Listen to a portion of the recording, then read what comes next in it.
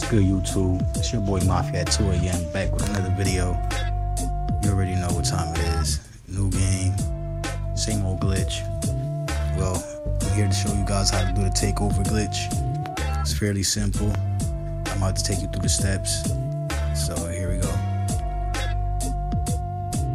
First, you gotta load up on a build that has the takeover you're trying to glitch. The takeover you're trying to use on the build that doesn't have the takeover you need. You made your choice, you select it and you leave the icon on the takeover and then you switch your internet connection.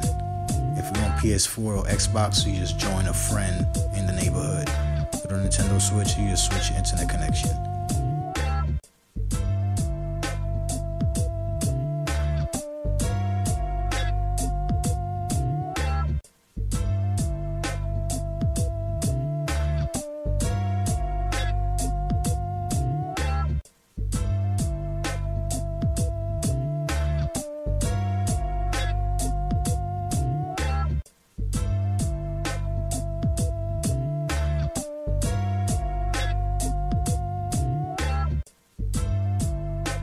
When you load back up, you will notice all these pop-ups.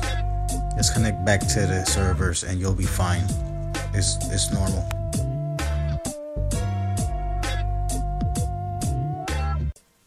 We'll just connect it right back to their servers. Pick the build you want to put the glitched takeover on.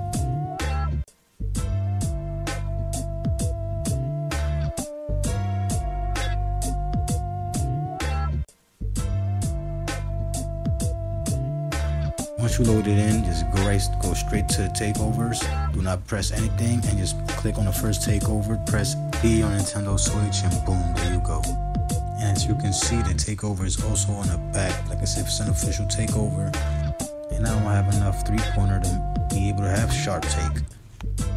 Please like and subscribe and comment below to let others know that it worked for you guys. Thank you for watching. Have a good day.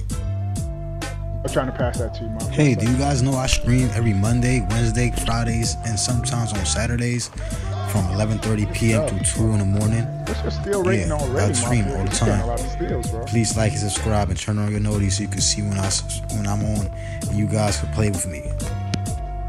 You just gotta watch the cherry picks.